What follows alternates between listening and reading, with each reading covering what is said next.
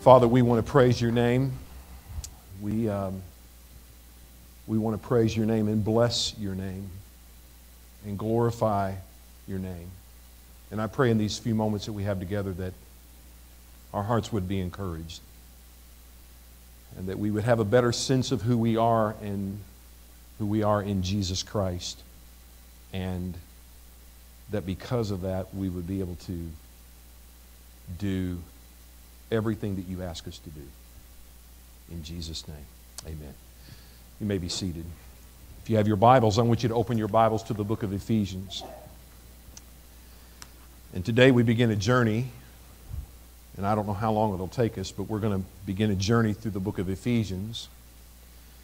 And I'm only going to preach from two verses today because I know that, um, that we have a bunch of students right in front of me who, in, in this great group of students right in front of me who just got back from, from um, student retreat. And uh, when Houston Jeffcoat tell you, tells you that he's tired, then there's Houston back there. Uh, Houston, do not fall asleep while you're doing the sound, okay? Uh, but uh, anyway, I want to be good with our time. So I want to tell you why I'm feeling impressed to teach from the book of Ephesians. Um, on some practical levels, there's some great things in the book of Ephesians. By the time we get through this series, we're going to talk about spiritual warfare. That'll be in um, Ephesians chapter 6. By the time we get done with this series, we're going to talk about marriage.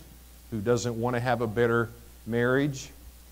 Uh, by the time we get done with this book, we're going to talk about um, some really important things, such as how do you how do you put off the old person? How do you take off the sins of the past so that you can really live for Jesus in the present? But to be honest with you, there, there, there, there is a huge reason, and it's found in verses 1 and 2 of chapter 1 of Ephesians. So if you have your Bible, I want you to open your Bible there. And um, and I want to tell you a story about the church at Ephesus, not only as just information, but I want to let it be a kind of a warning to us about why this is so important. The Bible tells us that the church at Ephesus was founded in about the mid 50s, 55 AD, about 20 some years after the death and the resurrection of Jesus Christ. In Acts chapter 18, if you want to refer to it later, uh, Aquila and Priscilla were there. Paul comes there, and they found a church in this city, the very secular city. We act as if today it is the only time we've ever had a secular city. Well, the, the city of Ephesus was a Roman colony city.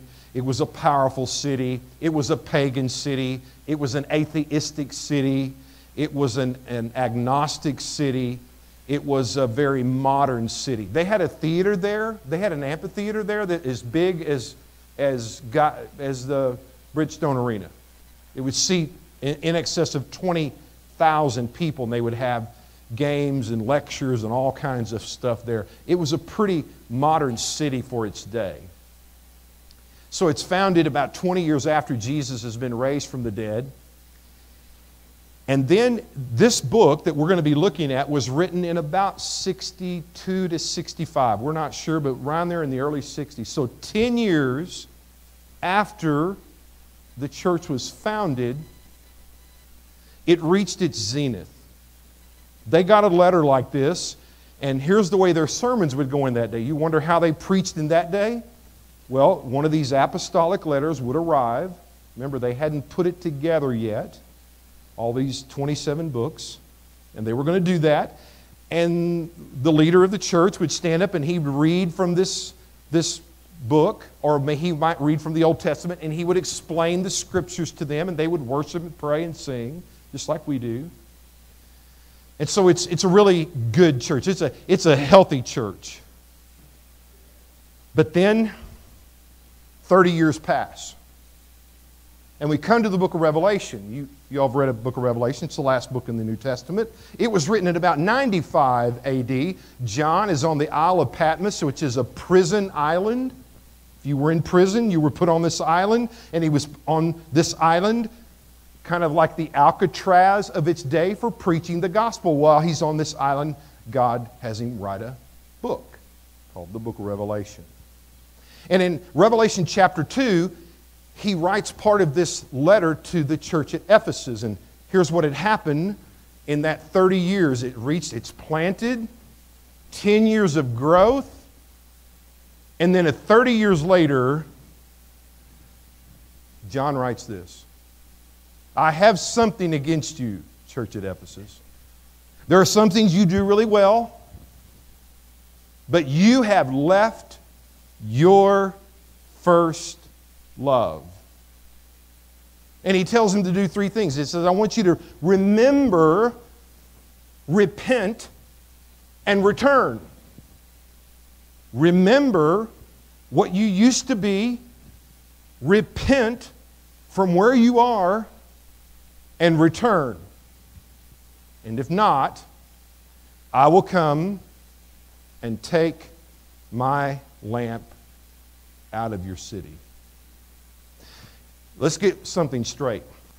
When Jesus said in Matthew 16 that he would build the church and the gates of hell shall not prevail against it, that is absolutely true. You can take it to the bank. There will always be a church until Jesus comes back. Can we get a witness on this? But individual churches, that may not be the case. There may be times that a group of people in a particular location are not always faithful to the Lord. And while God is still building His church, He might say, well, that church has left their first love. And I'm going to come. And that's exactly what happened. There is no church, at least the church that was founded in the Paul's day, still in what's called Izmir, Turkey. That's modern day Ephesus. Uh, I have good news to report to you. There is a fledgling church trying to get reborn there. And Muslims are coming to faith in Christ. We don't hear about this much in the, in the news, but aren't you glad that the gospel still works today? Amen? Now, the reason I tell you that arc, the arc of their founding and their peak and their waning, is because I think that can happen to any church, it could happen to us, it can happen to you as a person. Man, you start out red hot for Jesus, the Word of the God is planted in your soul, you're ready to go. You're ready to conquer the world. Then you reach your zenith, man. you're, you're praying, you're reading your word, and then all of a sudden you've been a Christian for so long that you just kind of take it for granted and you stop doing the disciplines that got you to where you are and you don't you, you kind of take church attendance casually and even when you're at church you're kind of walking the hallways instead of in a bible study class or worship church becomes a kind of an inconvenience or it kind of becomes one of the things on the list of many things on your list we stop reading the word pray and all those things and all of a sudden we find out we don't love jesus like we did when we did over there so, the reason we're going to go through this book of Ephesians is because it's going to remind us of two great things. In fact, it's the great divisions of the book. The first three chapters are going to remind us of what it is that we believe. I mean, it's some of the deepest doctrine about salvation and the Christian life is in the first three chapters of this book. I'm telling you, we're, gonna, we're not swimming in the kiddie pool. We are going to the deep end of the pool to dive in. So I hope you brought your snorkel and mask. But then in the last three chapters, it's the most practical stuff you'd ever talk about. So I guess what the Holy Spirit is doing here is, is the Holy Spirit wants us to be reminded that what we believe ought to be connected to how we live. How many can I, can I get a witness on that? What we believe ought to be connected to how we live. Well, it's all right here. The whole book is in the first two verses. You say, Preacher, I don't believe you. Here we go. Look at Ephesians chapter 1, verses 1 and 2. And here's what I'm going to do I'm going to ask three questions, and then we're going to do something really cool to end this service, okay? Here we go. Paul writes, Paul, an apostle of Christ Jesus by the will of God to the saints who are in Ephesus and are faithful in Christ Jesus. Grace to you and peace from God our Father and the Lord Jesus Christ. Turn to your neighbor and say, I can't believe he's going to get a sermon out of those two sentences. Here we go. Okay, here we go. Question number one Who is writing this book? This is, this is going to be so good. I, you just, you're going to think, it's right here. I'm not smart enough. It's right here in the text. There's three things about who's writing this book. Notice what it says. It says, Paul. Now I'm going to preach on this. Not about Paul, but listen very carefully now. We live in an age where identity politics and critical race theory and intersectionality and groupthink is really doing a number on us. So we got groups. I'm part of this group and that group, and we're, we're evaluated by our groupiness. That's not the way God created us. God created us in His image individually. There is only one Kevin Shrum. Aren't you glad that's enough? Can I get a witness on that? Amen. Hey, stop. Stop clapping. Stop clapping now. Now, don't, don't run past these words. The Holy Spirit puts words in the Bible on purpose. Paul. Not Peter, not James, not John. Paul. Paul was who he, who he was. He wasn't anybody else. And his job as a Christian was to be all that he could be in Jesus Christ. I have a word for some of you in this room. Quit trying to be somebody else. Quit trying to be an idea of yourself. Boy, if I could only, if I were only six foot seven, if I were only this, if I only looked like this, if I only had this, quit trying to be somebody else. You say, Pastor, give me chapter and verse. Here it is, 1 Corinthians 15:10. Paul is talking about the resurrection of Jesus Christ. He said Jesus was raised, he died according to the scripture. He was raised from the dead according to the scripture. And he appeared, and he tells all, he appeared to this, and he appeared to those, and he appeared to this, and he goes, and then he appeared to me, and then Paul says this. This is this. This is my Popeye say. Paul says, and last of all, Jesus appeared to me, and I am what I am by the grace of God. So if you walked up to Paul and say, Paul, who are you? I'm Paul. Where were you born? Tarsus. What's you all about? I'm, I'm Paul.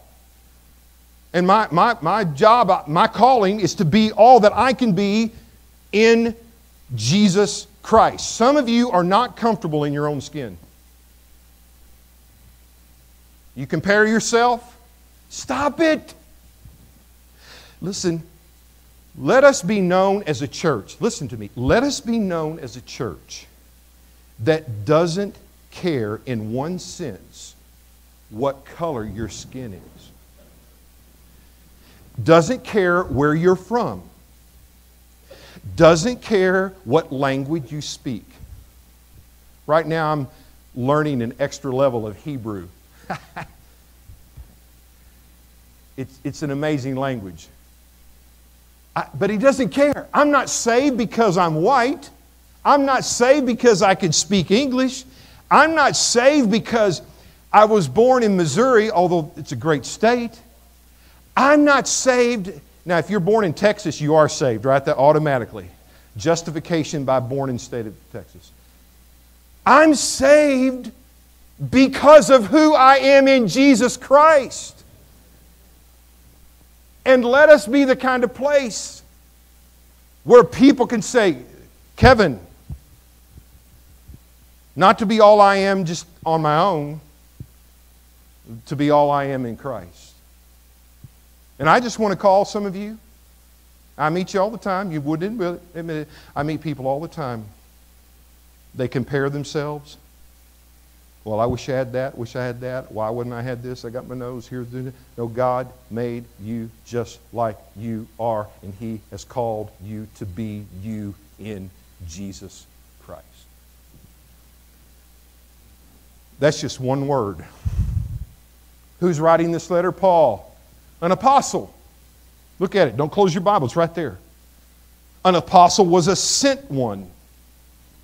Paul, this person who was converted in Acts chapter 9, who was as individual as you could ever get, yet he was sent with the gospel of Jesus Christ.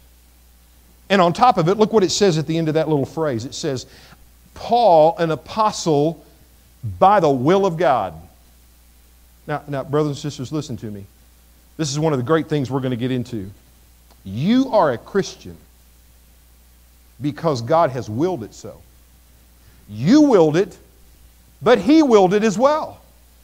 And one of the deep things we're going to talk about when we get into Ephesians chapter 1, it's not you just out here on a limb, kind of hoping on, hanging on. Guess what? While you were willing to believe, God was willing you to believe. Go wrap your brain around that. But it's right here. He chose us in Him before the foundation of the world. The reason we believe in the security of the believer is because you didn't save yourself, you won't keep yourself, and He'll take all of His children all the way home.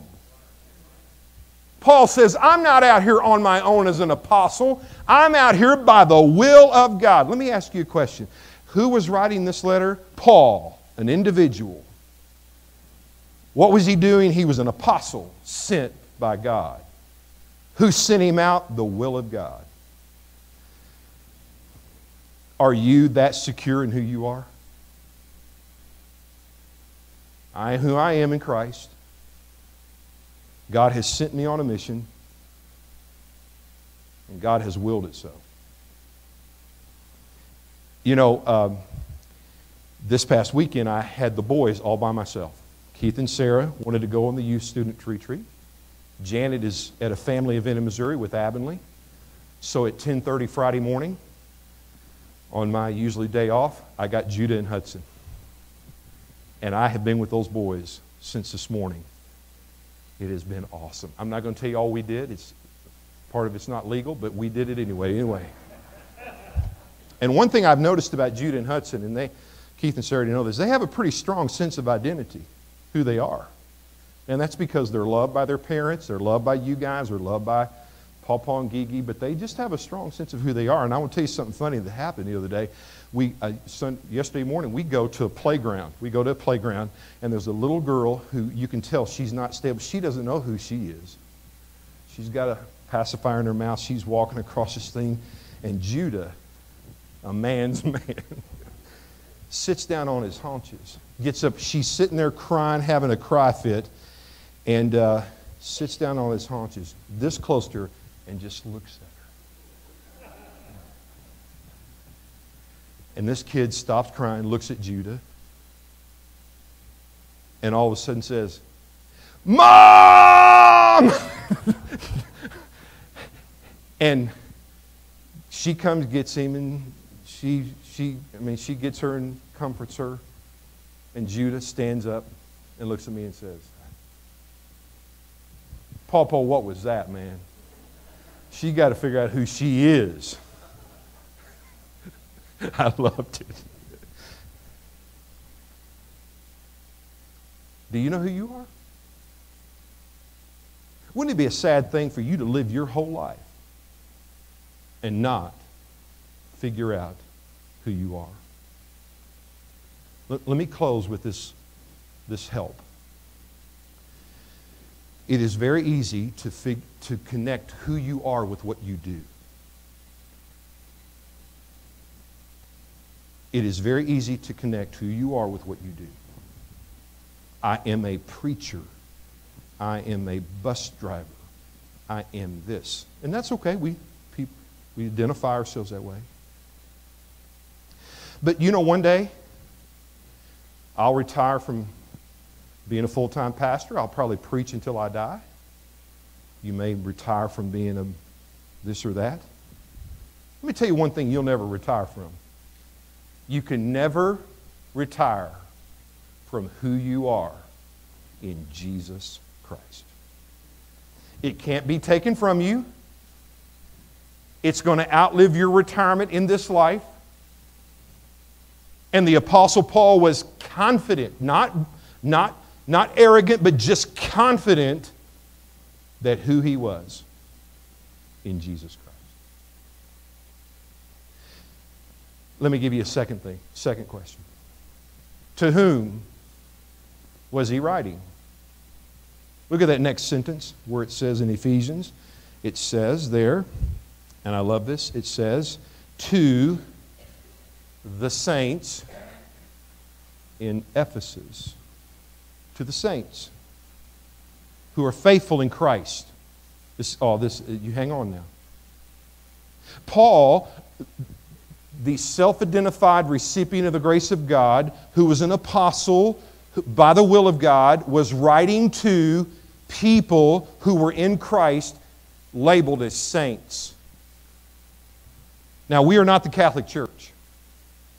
We will never be a Catholic church. Catholics have set of beliefs that are in many areas different than ours.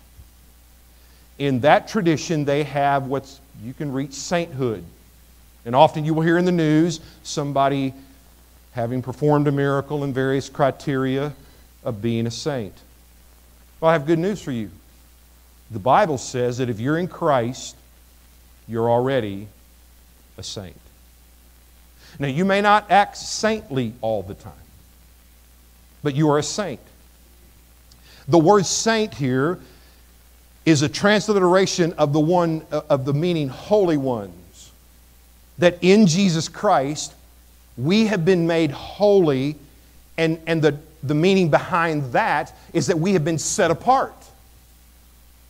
Set apart. We're, we're, we're, we're different. We, we've been made differently in Jesus Christ. So Paul says, I'm writing to the saints. This is not the only part, but all throughout the book of Ephesians, listen to this. In Ephesians 1.15, it says they loved the saints. In Ephesians 1.18, they had saints have a glorious inheritance. In Ephesians 2:19 it says we are fellow citizens along with all the saints in the body of Christ. In Ephesians 3:8 Paul says that it was it was great um, to be the, the saint, be with the saints all of eternity. Ephesians 4:12 says that, that the saints are to be equipped by the ministry of the word, and in Ephesians 6:18 it says we are called to pray for all the saints in the body of Christ. Who's he writing to? He's writing to people who are set apart, who've been made holy in Jesus Christ, and who are in Ephesus. Now I'm a little amused when I talk about Ephesus, I think sometimes we commit the sin that C.S. Lewis said of chronological snobbery. What I mean by that is that we often think that we're the firstest. The latest is the firstest, the bestest. That's not true. Did you know that in the city of Ephesus, now he's writing this letter to saints, and where are they located? They're located in a secular city in a pagan city, in an atheistic city, in a Roman city, in a city where idol worship is at the zenith. They're writing where he's writing to saints that are embedded in a place that is far more secular and paganistic and atheistic than Nashville will ever be. And Paul says, God has saints in Ephesus. And then he says, look at that next sentence. To the saints in Ephesus who are faithful in Jesus Christ. Now, I want to be clear about what he means here. He is not saying that we are faithful on our own because we belong to Jesus Christ the language here suggests that what Paul is saying is that the one who enables us to be thankful or be, to be faithful is Jesus Christ.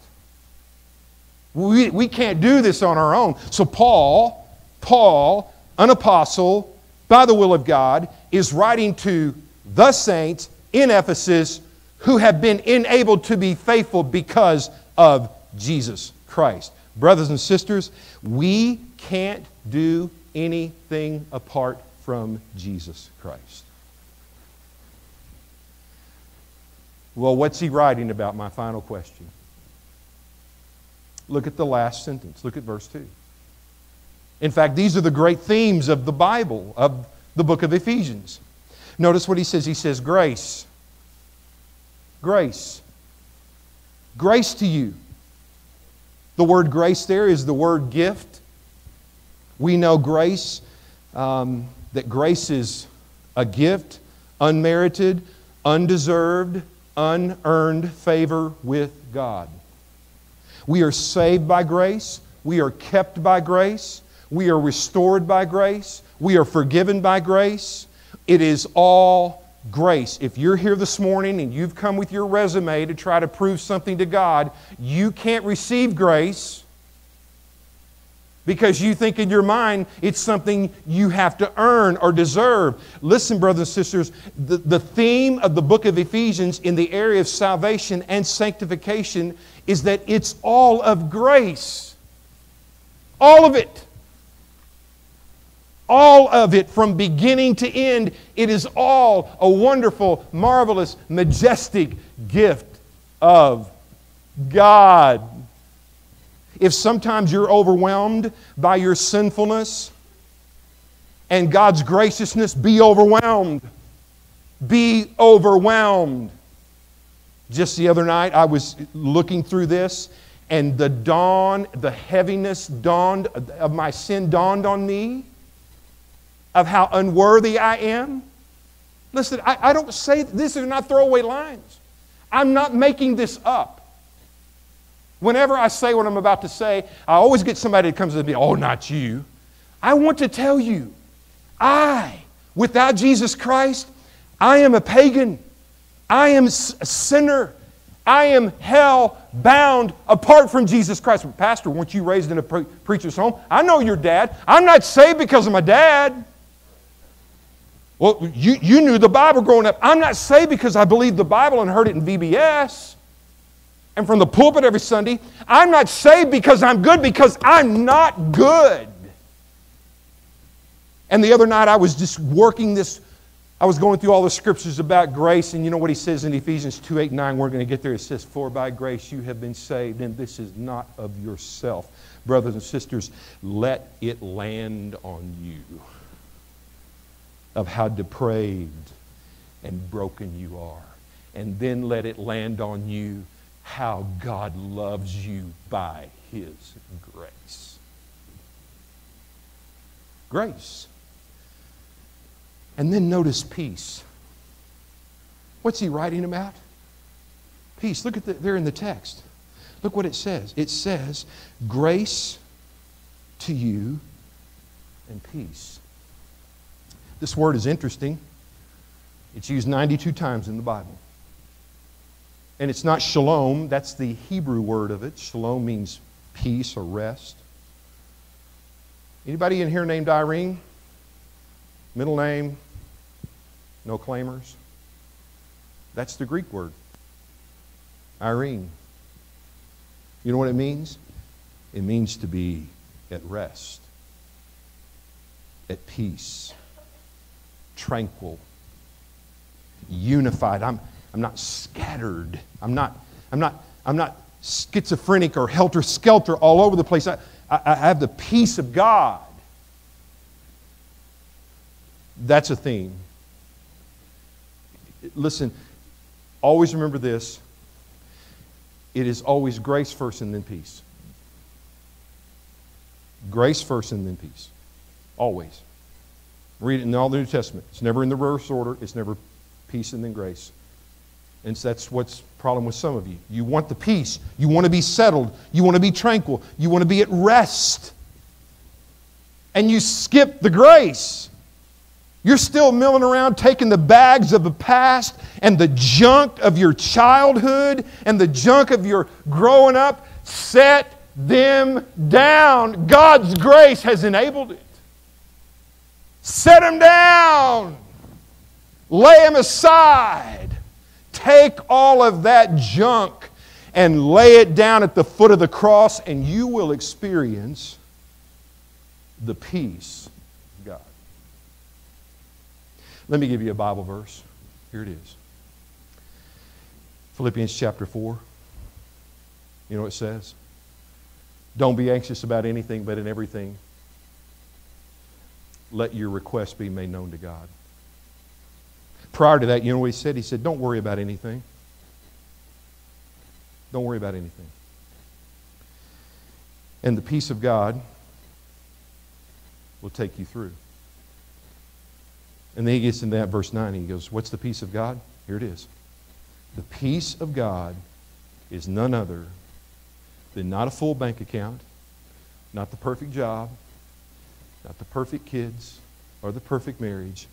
The peace of God is none other than the God of peace himself.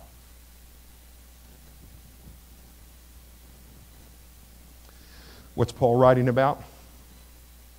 Notice what it says in verse 2 Grace and peace from God our Father. Stop. Do you know we have a good, good Father? Do you know we have a good, good Father? We have a great Father. We have a Father, Matthew 6 9, our Father who in, is in heaven. Pater in Greek, Abba, Daddy in Aramaic. We have a good, good Father.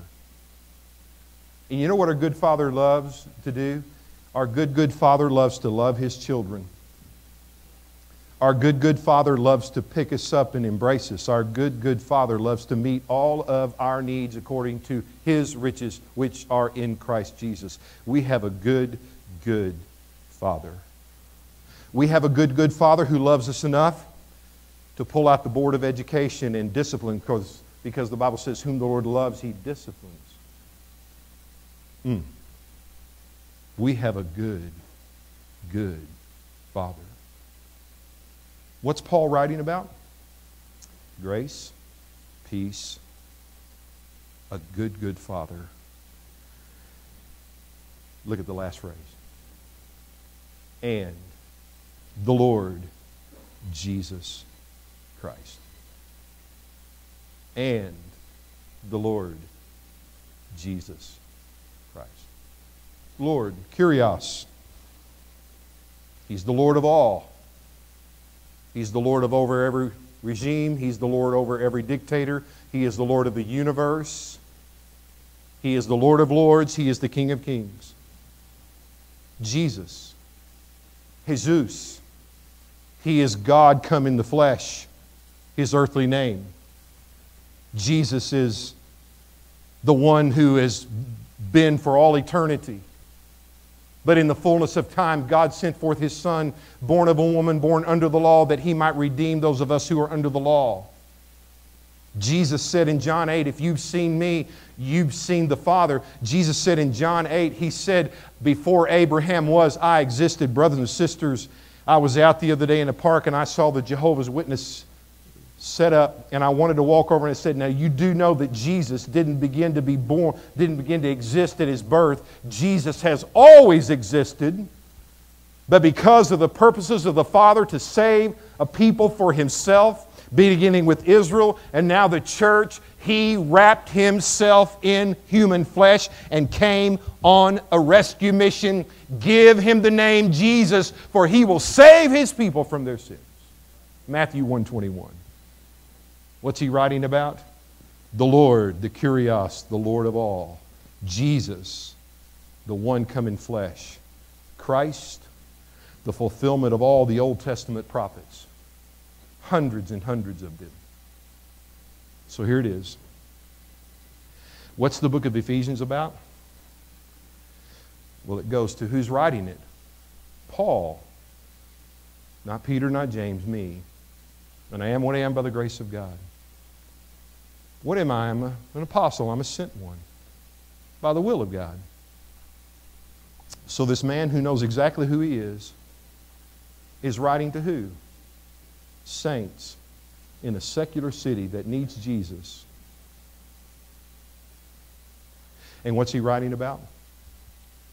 He's writing about grace and peace and a good, good Father and the Lord Jesus Christ. You know who you are?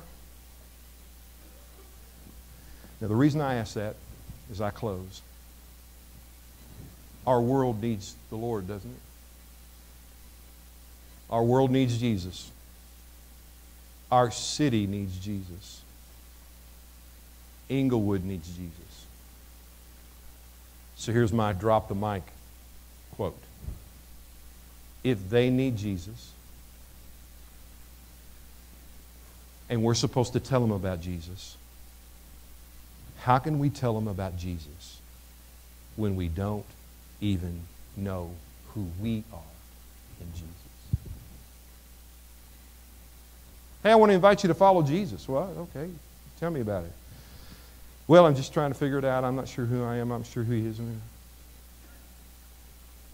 No. So here's my call to you as we go through this book. We're going to learn a lot about salvation. We're going to learn a lot about how to live. But I hope and pray that God will build in you such a strong sense of who you are in Jesus that when we live for Him in this world, people can take notice not of us, but of the one who has defined who we are.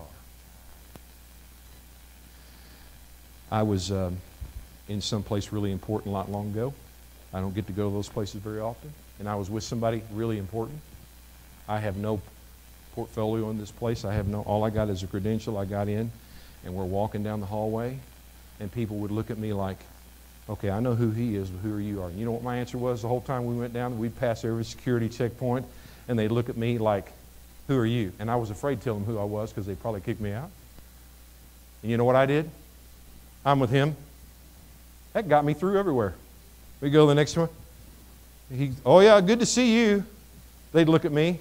They'd look me up and down. Don't look like much. I'd say, I'm with him. Okay, go ahead. And, uh, listen, I'm going to tell you what, when you're going through life and Satan and the world points his finger and says, Jesus, I know. Who are you? You know what you need to say? I'm with him. I'm with him. Let's pray. Father, we thank you for your word. We thank you for your word. And before I finish this prayer, undoubtedly, there may be somebody in this room who is not sure of who they are in Christ. And my invitation, the invitation is very clear. So I want to I want to be in Christ. I want to be a Christian. I want to follow him. So, Pastor, how do you, how do you begin that? How do you do that? Well, the Bible says that if we will turn from our sin and confess Christ as Lord, believe in our heart, we'll be saved. Have you done that? This morning, you can do that. Turn from your sin turn to the Savior. He will forgive you, give you eternal life. He is working His will. Now, I want to speak to some Christians here. You know Jesus, but it's been a while. It's been a little while, and you've lost who you are. You're like this church at Ephesus that somebody could write to you and say, hey, hey you, you've lost your first love. What, what happened? I don't know where you got off the road. I don't know what exit ramp you took. But uh, you have forgotten who you are in Christ. And you're not as excited about Jesus as you used to be. So, my invitation to you, dear brother and sister, don't let the jadedness of life, the cynicism of this world, keep you from enjoying Jesus and knowing who you are. And maybe this morning, you just right where you're standing, you want to come, you can during this time of invitation. You can come along with those who need to trust the Lord. You might need to come and say, Lord, I just need to fall in love with you all over again. Maybe you don't have a place, a church home, to live out this thing called the Christian life. And even though we're individuals, we can't do this by ourselves. And so I'm just going to ask that in just a moment, when we stand and sing, I want to be clear about what you can do. You can step out and walk down that aisle, take my hand.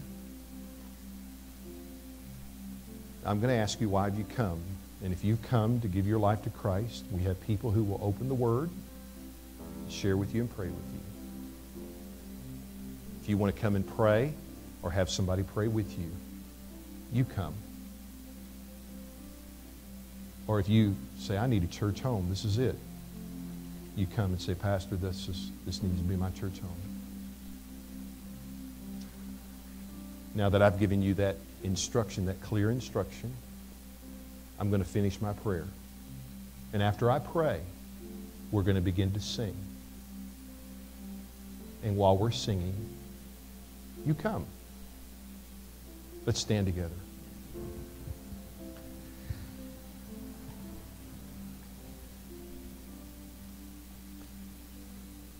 Father, as we sing, would you call them? Would you call them? By your Spirit, would you call them? We can't come unless you call. So, Father, by your Holy Spirit, call them. Call them to salvation. Call them to remembrance. Call them to membership. Call them, Lord. In Jesus' name, amen. Let's sing together.